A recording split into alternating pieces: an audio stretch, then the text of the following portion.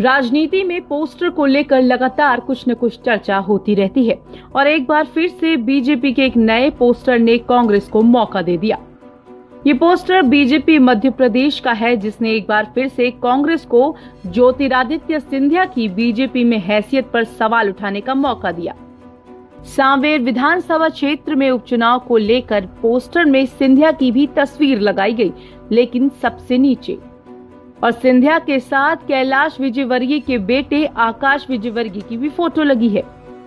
इतना ही नहीं, सिंधिया की जो तस्वीर पोस्टर में लगी है, वो भी पुरानी है, जिसमें उनके गले में दुपट्टा भी कांग्रेस का है।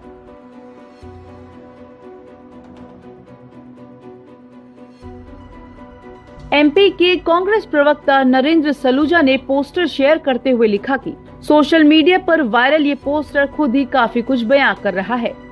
जो कहते थे कि सम्मान की लड़ाई थी, उसूलों पर आँच नहीं आनी चाहिए। उनके सम्मान की रोज धज्जियाँ उड़ रही है। फ़ोटो में से कांग्रेस का दुपट्टा तो कम से कम हटवा दीजिए।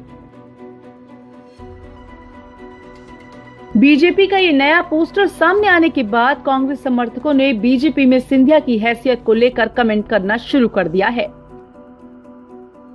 News desk.